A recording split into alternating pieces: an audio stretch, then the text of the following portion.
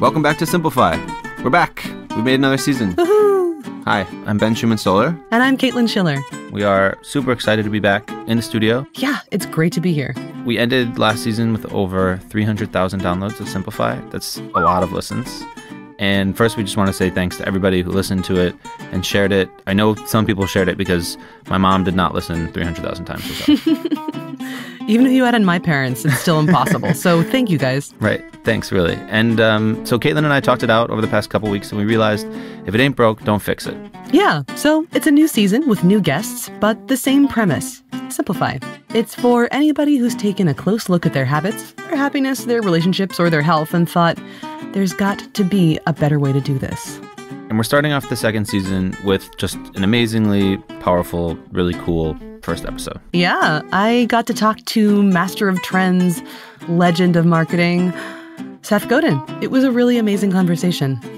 And he's a little hard to introduce. I mean, we could say he's written 18 books. We could say he's arguably the most famous blogger alive, having written like 7,000 posts. 7,000 blog posts. It's intimidating and also inspiring. I mean, the whole conversation was pretty inspiring. Okay, one thing though before we start the interview, there are some construction sounds you're going to hear in the background. We tried to clean them up, but we didn't want to cut too much of, of Godin himself. So apologies in advance, but hey, that's that's the biz. Yeah, so let's do it. Let's get into it. And remember to stick around after the interview. Just like season one, we have a quick book list after each interview, so we can go deeper this time into the idea that you'll hear from Godin of fear and hiding. Here's Caitlin Schiller and Seth Godin. All right, so would you mind just introducing yourself? My name is Seth Godin, and I'm an author, an entrepreneur, a blogger, but mostly I make a ruckus and I teach people. okay. Who is Seth Godin? How did you how did you become who you are? Uh, you know, life is two things. It's the lottery of how we're born, and then it's the choices that we make based on the culture that surrounds us. And I've made some choices along the way that seemed ill advised at the time. And I ignored all the criticism and persisted. And I think that that pays off in the long run if you're lucky. Hmm. What's your favorite ill-advised choice? Well, you know, when I left business school, everyone went to work for a consulting firm or a big tech firm, and I took a salary of $31,000, which was a quarter of what everyone else got paid, to work at a little educational software company in Boston that no one had ever heard of. And then that changed my life. And two years later, I quit to get married and move to New York with no actual good plan as to how I was going to make a living. That was an interesting choice that didn't meet with a lot of applause. Uh, and then sort of suspended part of what I was doing in the book business and started an internet company in 1991 when no one even had an email address.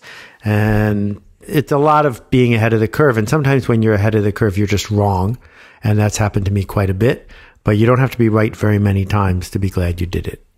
Do you do you get sort of an intuition for for being right?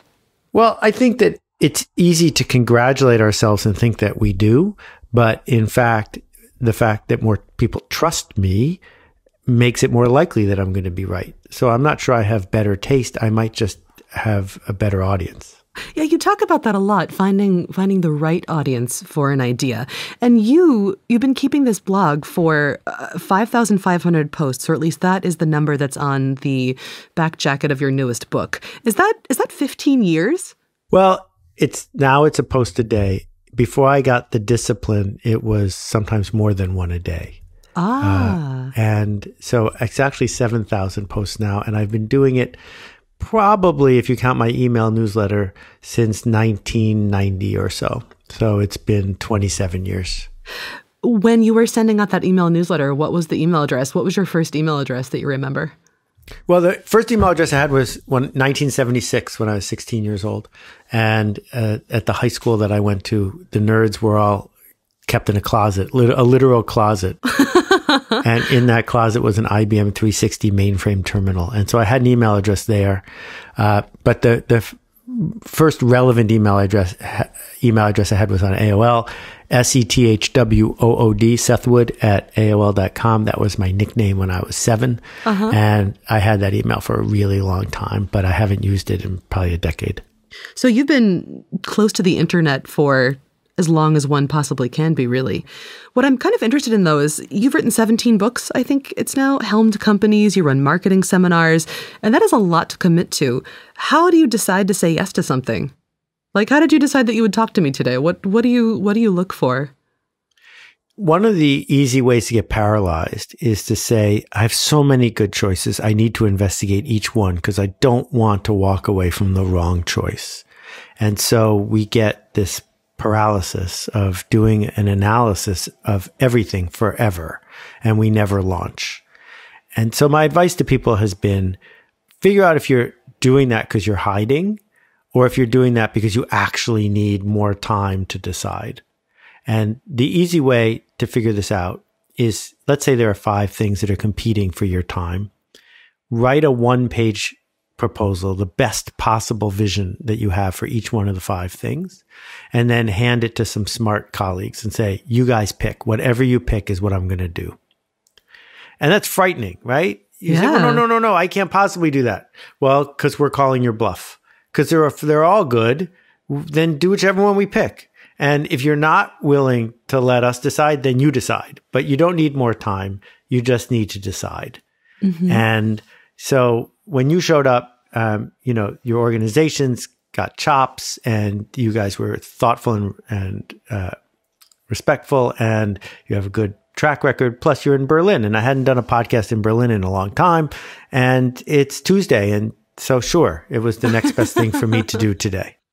Wonderful. I'm I'm really glad you decided to say yes. Um, so one of the things that seems to be a thread throughout all of your books really is this idea of remarkability. I've I've seen it in permission marketing and linchpin. Remarkability is kind of a nebulous concept though. Can you talk to me about what it means to be remarkable a little bit? Oh, I don't think it's nebulous in the slightest. I have lots of nebulous concepts I would be happy to talk about, but this one is really simple. And I know simplicity is something you guys care about. This is super simple. All it means is that someone decides that you are worth talking about, that you are worth making a remark about. And it is not up to you. It is up to them. So if people choose to talk about you, then the word spreads. And if the word spreads, you don't need to buy Super Bowl ads and billboards and bus shelter ads because humans are telling other humans. Now, what we need to do to become remarkable is do this work that is, yes, good enough, that yes, meets spec, that yes, is important, but is also worth talking about in the way that that person wants to talk. So hmm two examples, a positive and a negative. I did a book called Purple Cow about how to make things that are remarkable. How did I launch it? I talked to the people who wanted to hear from me, my readers in Fast Company, and I offered them a copy of the book for five bucks, which would actually pay all my costs. But I didn't tell them that. I just said five bucks for postage and handling, and I'll send it to you. But what I did was I sent the 5,000 copies in a milk carton sealed in a milk carton with a stamp on the milk carton itself. Now, no one had ever gotten a book in a milk carton before. And if you're in your office and the mail guy comes and drops a milk carton on your desk, people come to your office and say, What's that? A conversation occurred about what I did. That made it remarkable, which gave them an opportunity to talk about the idea in the book. I also didn't call the book How to Be Remarkable. I called the book Purple Cow. Why? Because if you're in a meeting and someone says, you know what we need? We need a purple cow. Someone else says, what does that mean? And now a conversation takes place again about the work that I was doing. The sequel to that book was called Free Prize Inside. And my publisher, who is terrific, in that moment of weakness, did what I asked them to do, which is we sold that book in a cereal box because I thought that was very clever because you get milk and cereal, they go together. Well, it was a bomb. It didn't work. And the reason it didn't work is that Barnes and Noble, the big bookstore chain in the US, got all these books in milk cartons and all their sales reps opened the I mean in cereal boxes, all the sales reps opened the cereal boxes and threw them out.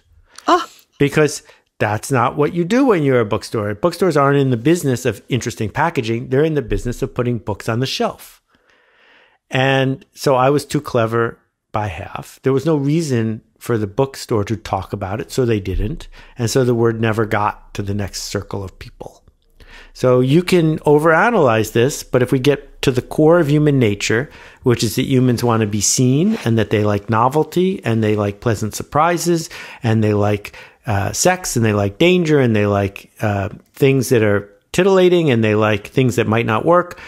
All of those things are available to someone who wants to make something that's remarkable. Mm-hmm. Wow.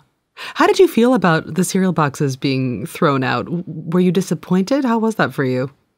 Well, you know, I did a post a couple weeks ago about beating yourself up and how futile it is, but I will admit that I beat myself up for many months because I lost some trust with my publisher.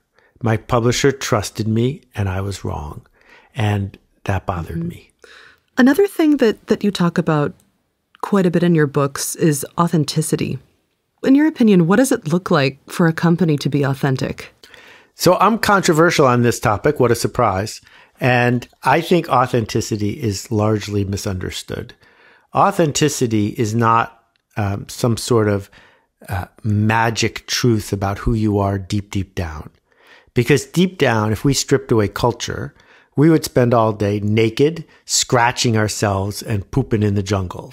That's who we are authentically. Everything else is just a, a, story that we put on, a show to get people to like us, believe in us, and trust us. So you wore clothes to work today, even though you didn't feel like it necessarily, or you went to work even though you didn't feel like it, because that's the version of you that gets success. And so for me, what authentic really means is consistent. What it means is, even if I'm not in the room, are you acting the way you say you act? Even when you don't think I'm listening, are you talking in a way that you talk when I'm in the room? If you are consistent, we then decide, describe you as authentic.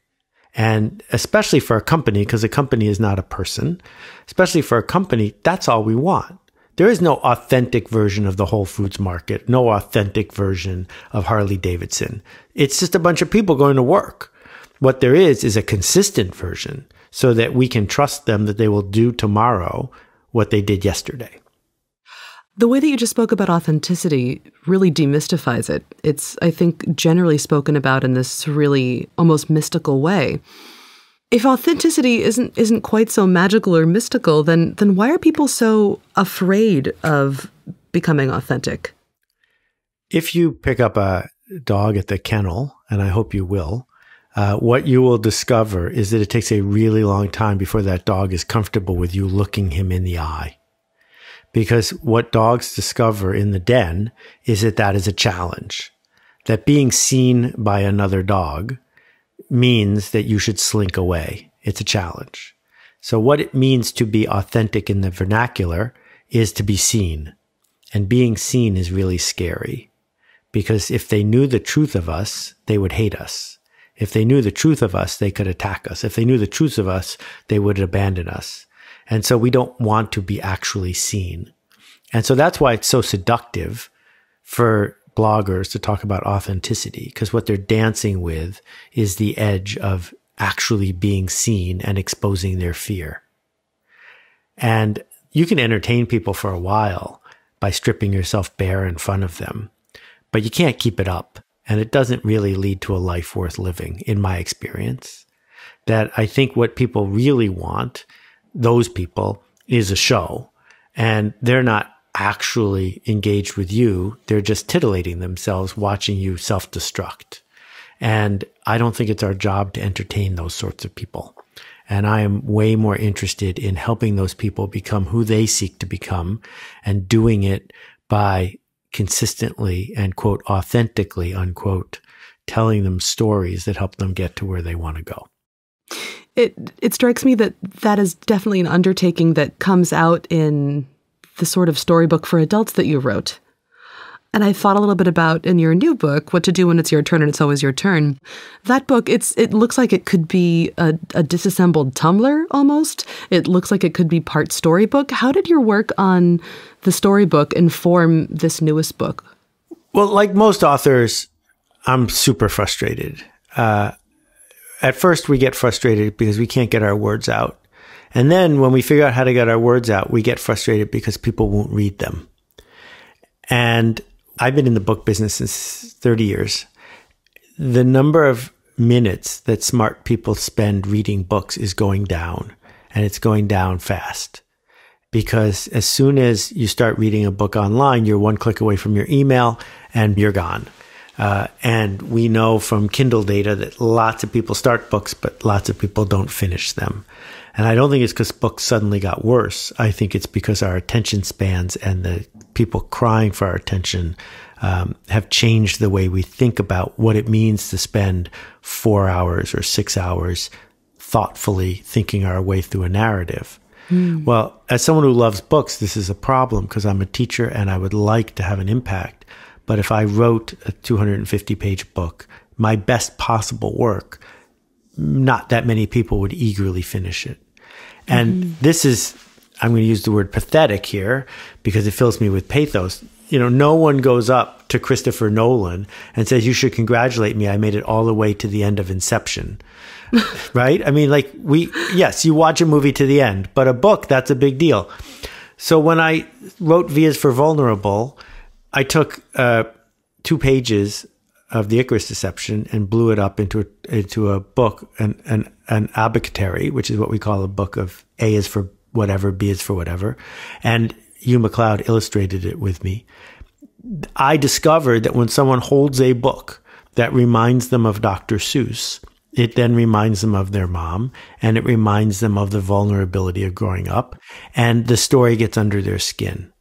So if that book has 600 words in it, it would be a lot and they mattered. They landed. They had an impact on the people who have read it. How did you discover this?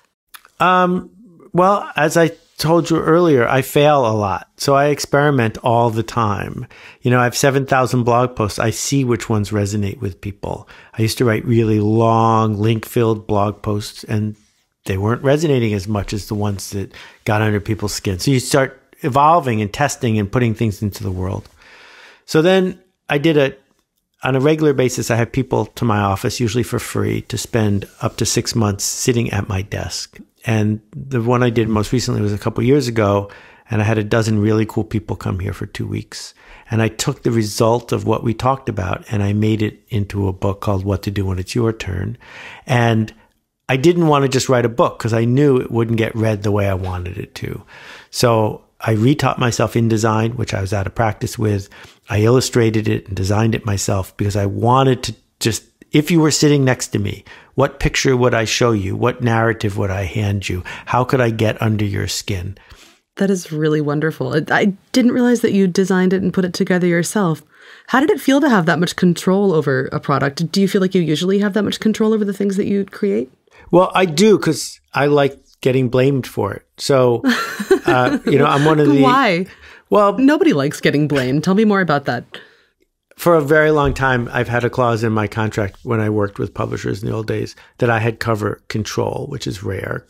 Um, and I have control over all the words. So in a traditional book, that's all you need.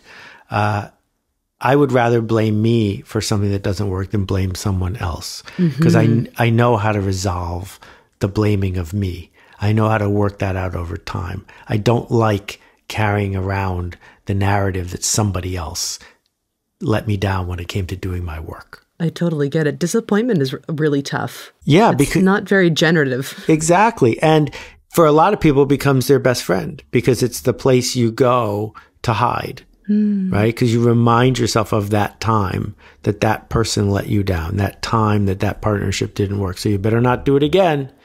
And if it's just me, I somehow have been able to resolve it when it's me and let myself off the hook at least enough to be able to go do it again. Mm-hmm.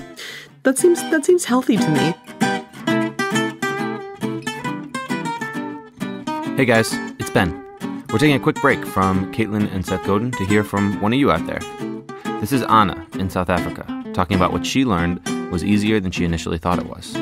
Hello, my name is Anna. I'm calling from South Africa. I'm currently an American volunteering in a rural village, and your guys' podcast keeps me very entertained, so thank you.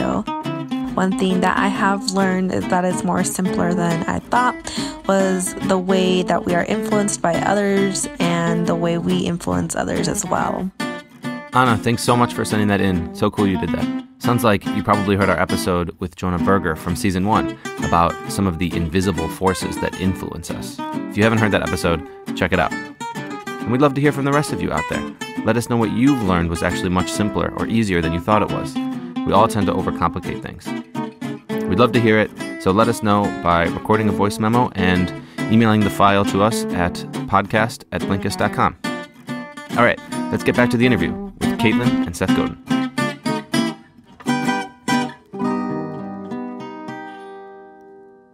So we talked about vulnerability, well, sort of vulnerability and failing, and you said you keep saying hiding.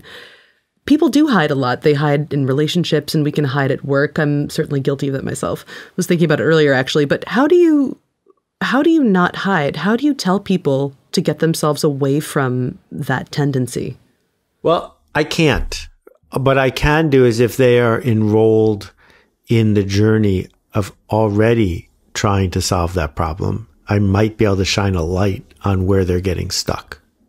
Mm. And I can point out where they're hiding. And if it resonates with them, they can go do the work.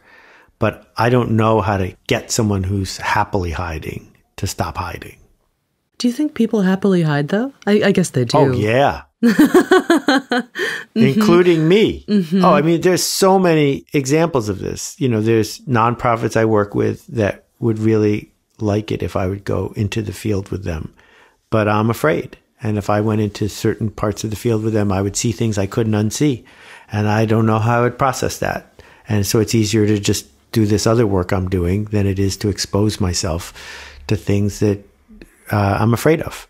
So then is all hiding bad? No, I don't think it's bad at all. I think it's only bad when it gets in the way of you getting what you need and what you want and what you're capable of. And how do you know the difference? How do you know when it's okay hiding and, and when it's not? Well, that that's a fabulous question. So, being afraid of spiders is different than being afraid of flying. Because you can be a productive, happy human and be afraid of spiders. But it's really hard to be a traveling salesperson or a public speaker or a politician and be unwilling to get on an airplane. So one form of hiding is getting in the way of your goals and the other one isn't. And so when we think about are we accomplishing what we seek, the change we seek to make? If our answer is no, then it could be because we just don't have the talent. It could be because our goals are unreasonable. But the most likely reason is that we are stuck and we are stuck on something that we are afraid of. And this is way worse than it used to be because it used to be you couldn't get published without a publisher. You couldn't get broadcast without a broadcaster. You couldn't be in business without a business person. But now you can do all of those things without anyone saying you can't. And by breaking down the gates, particularly relevant to a conversation in Berlin, we uh, put it back on us, right? If you want to sing, sing. If you want to write, write. No one can stop you. All you have to do to be an author today is hit the print button and you're done, right? You're an author. So, so many areas of our life, if it's not moving forward, I think we have to confess to ourselves it's because at some level we're hiding. Yeah, no one can tell us we can't do it. Interesting. But someone does have to tell us whether or not we're remarkable at it. Right. So the talent part is this it might be that you're just not that good at it. Mm-hmm. It also might be that you want to be a famous pianist, but there are already enough famous pianists. And even if you are good at playing the piano, your goals are unreasonable. Mm-hmm. I apologize for that noise in the background. Every time I go on a podcast, they decide that's when they should start fixing the patio here. I apologize. No worries. We'll, we'll do our best to dim it out. By picking the niche that I picked, which was writing the best selling marketing book of the decade, well, guess what? There weren't that many other marketing books competing against me. So being able to show up in a way that was remarkable was significantly easier because I picked a spot where I had something to say and where the whole world also wasn't trying to say it. Mm-hmm. So it's a lot of it is strategy.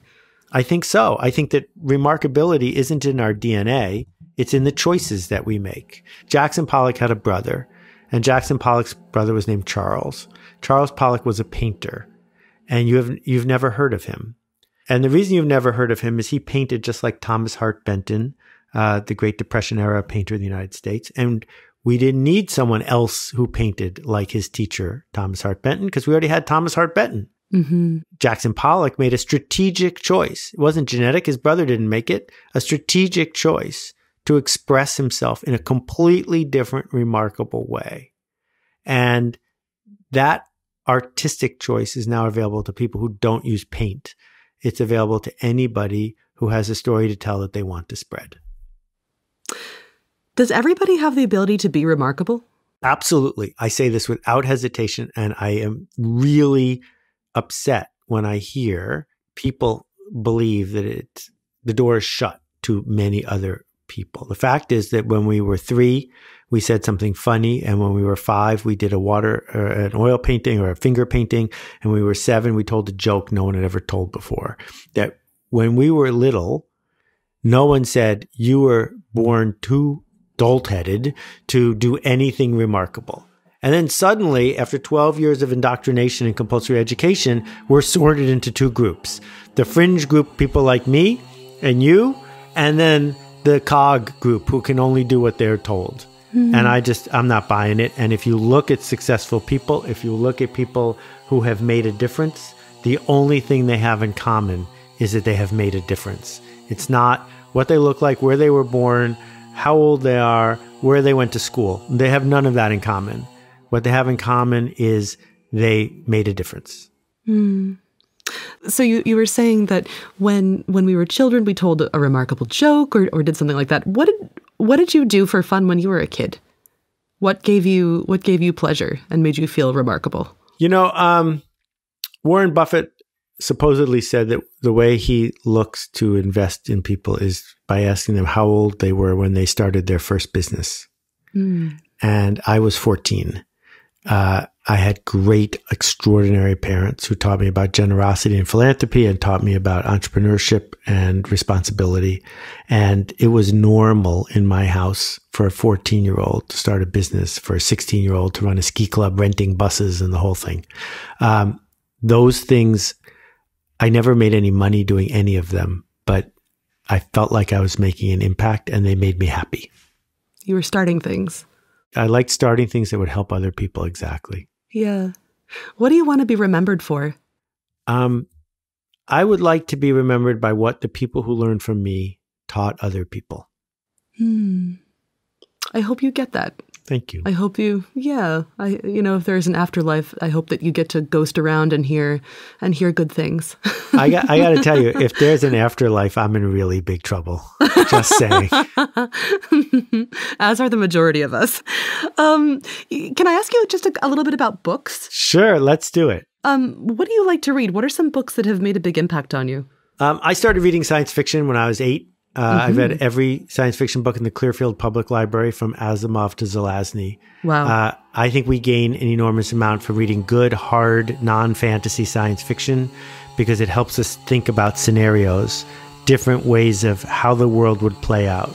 So when I think about Replay, a great science fiction novel about time travel, or uh, Snow Crash or The Diamond Age by Neal Stephenson, mm-hmm. Cory, Cory Doctorow's last five books are just mind blowing when you think about his understanding um, of how the world fits together. If you're a marketer, you really need to read pattern recognition, which I think will get under your skin.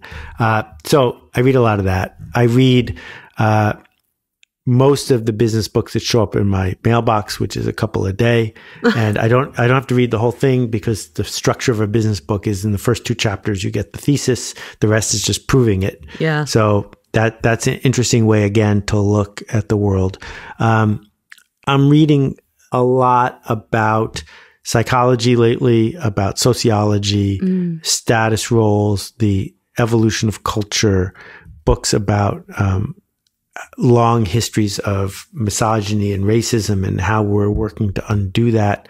Uh, a great book by David Graeber called Debt that I strongly recommend it's super on audio because if you get sometimes he repeats himself, but on audio it's okay because you can just zone for a minute. Mm. but you know, Tom Peters told me that for twenty bucks, a book is a screaming bargain. If you just get one insight from a book, it's a mm-hmm. home run. And sometimes you get a hundred. Sometimes you get a new way of looking at the world for the rest of your life.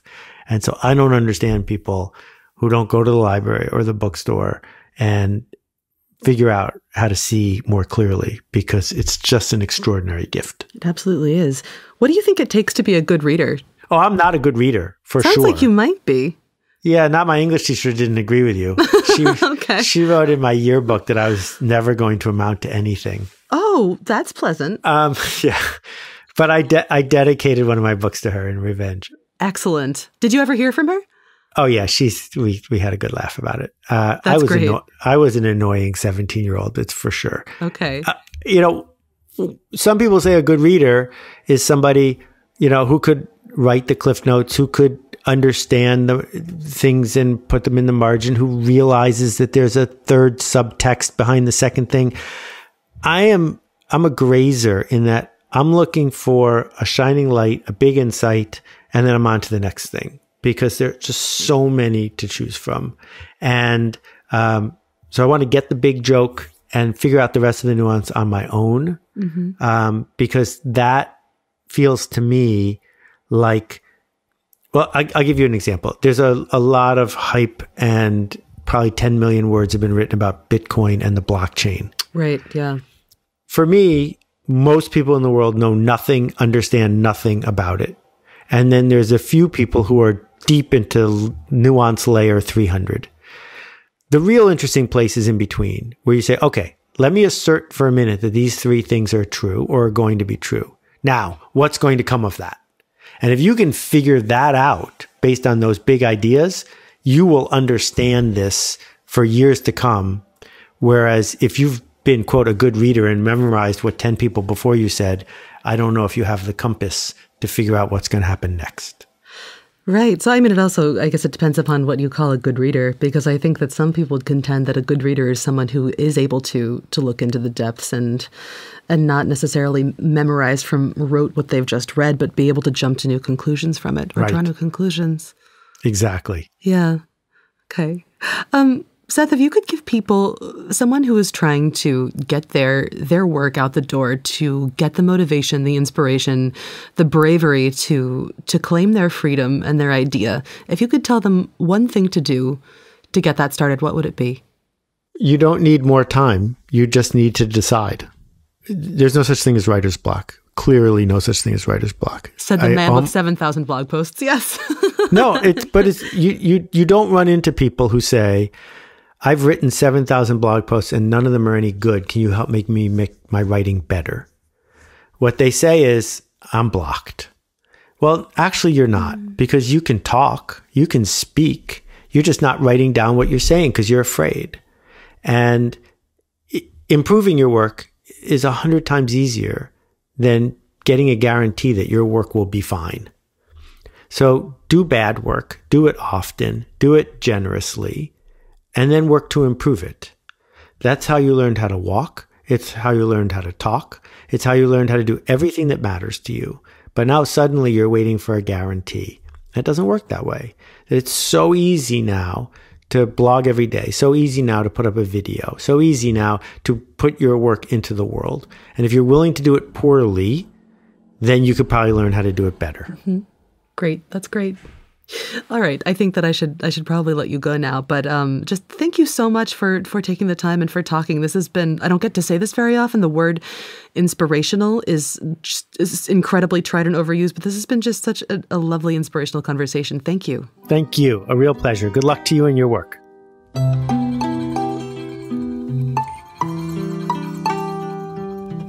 Welcome to the bookend, where we end with books.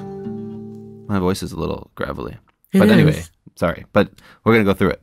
That was um, that was an incredible, incredible conversation with Seth Godin. We got Seth Godin on Simplify. That's so cool. Yeah, it is really really cool. There was a lot to learn in there. Yeah, and speaking of voices, mine is gravelly today, but his is like I don't know, gentle. How do you describe it? It's an amazing voice. Yeah, he was a really really just kind, sweet man to listen to. And you learn things, and I learned things, and hopefully everybody learned things. But what's uh, what's the big takeaway here? Well, okay, so for me, it was the last thing he said, actually. do bad work. Just get it out there because you can revise and improve upon crappy work that already exists. But the great idea you never actually bring to any kind of fruition, you can't do anything with that. So you may as well never have had it. So get it out there. Do bad work. Yeah, somebody put up a, a, Seth Godin blog post in the men's bathroom at Blinkist, and it hung up there for years, which is funny because like people put jokes in the bathroom and they get taken down, or I don't know stickers and they get taken down, or who knows. But this like always was up there, and I just wanted to give a little bit of context because the post was about showing the world your work. It was it was about overcoming this fear of of showing work of of don't make it perfect. And I think the key line was nobody wants to see your first draft of anything which is like I've I always thought about this not because it was like I had to see it a lot, but I interpret that to mean don't be precious, just get it out there, mm-hmm. own it, mm-hmm. own the mm-hmm. thing, put it out there, no fear. Yeah.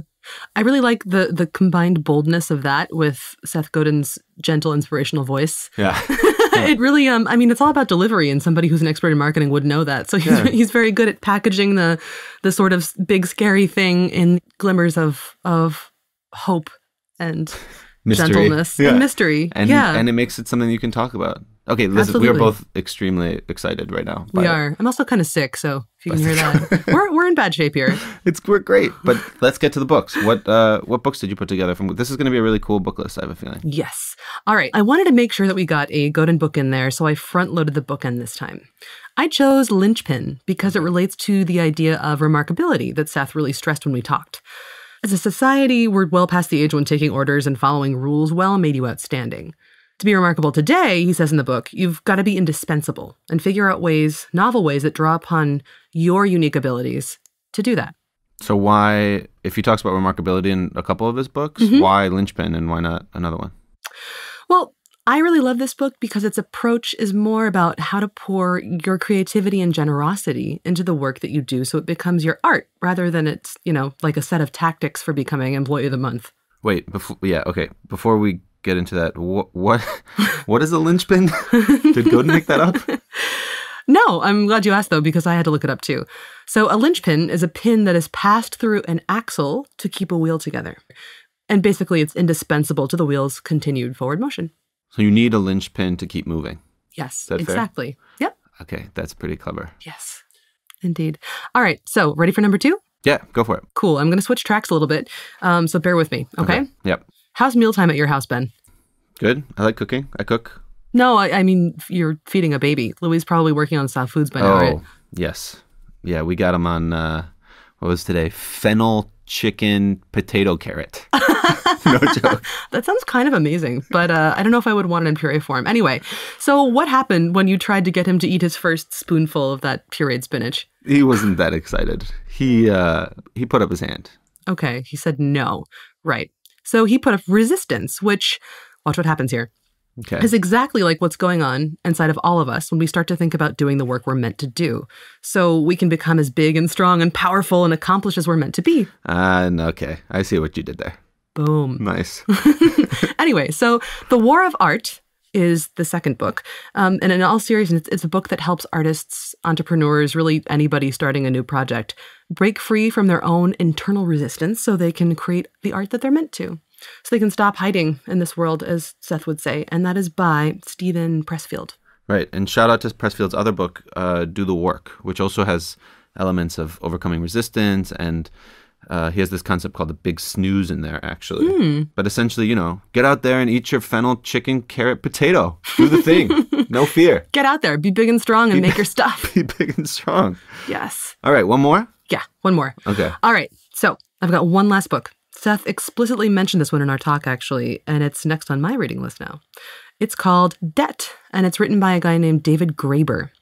He's an activist, an author, and he's a professor at the London School of Economics. Oh, nice. So this one's not like a marketing or a do big projects kind of book. No, this one is very different, but okay. important. Okay, so this book really digs into money as a social concept. I mean, it goes all the way back to the roots of debt as a concept, which precedes ancient Egypt, and we can trace back to agrarian societies. Um, Seth said that this one completely changed the way he thought about how the world works, which is pretty cool. I haven't had any world rocking crazies lately, so I figure I should just read it to shake things up. Right, so that you can like question money forever. Yeah, I mean, I question money often, but it's more like, why don't I have any of it? Probably because you keep buying all these books. My library um, is baller. So we're gonna we're gonna put up this book list again. In season one, we made all these book lists. They're, We're gonna those are still available on the Blinkist app and on the magazine, blinkist.com slash magazine. Yep. Um, and all these ones we're gonna also put up. So if you guys want to like dig into these books with us, you should go check that out. We'll put the link in the show notes. Yep. But like we put time into the book list because we really like these books. So go read them Indeed. Check and then them tell out. us what you think. So okay, this was such a cool way to start season two. I'm excited. Me too. It was a great interview, and I hope that um, I hope that you guys enjoyed it.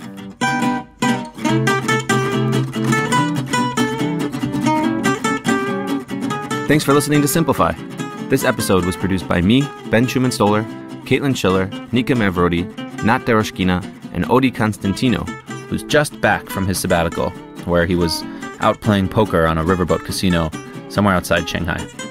Glad to have you back, Odi. If you enjoyed this episode or feel you learned something, please consider sending it to someone else who you think might learn something. We're really grateful for those of you who left us ratings and reviews on Apple Podcasts, the Google Play Store, Overcast, and so on. Also, a big shout out to the people who subscribe to Simplify so they automatically receive the next episode. If you wouldn't mind taking a moment to add a review or a rating, we'd be really appreciative. It helps us get the word out. Also, something a little new this year, uh, we're on Twitter. So, I mean, we've always been on Twitter, but this time we're telling you we're on Twitter so you guys can talk to us. No more hiding. I'm Bisto, B S T O, and Caitlin is Caitlin at Caitlin Schiller. Yep. Want me to spell it? Should I spell it? Sure. All right. So it's C A I T L I N S C H I L L E R. And Caitlin was her name. Oh, Yeah, hit us up. totally. Tell us what you're reading. That's also kind of cool. Yeah. I also always like to hear about breakfast. Let um, Caitlin know what you have for breakfast. All right. So Simplify is made by the same people who make Blinkist, a learning app that takes the world's best selling nonfiction books and condenses them into focused little capsules of audio and text that you can listen to or read in just 15 minutes. and you can try it out yourself. You get 14 free days by going to blinkist.com slash friends and typing in this episode's special voucher code, STOP HIDING. S T O P H I D I N G, all lowercase, one word, stop hiding. Mm-hmm. Yeah, check it out. You can email me and Ben at podcast at blinkist.com if you are not hiding anymore. And remember, if you want to send us a voice memo to that email address because you're more of an audio person, we like that too.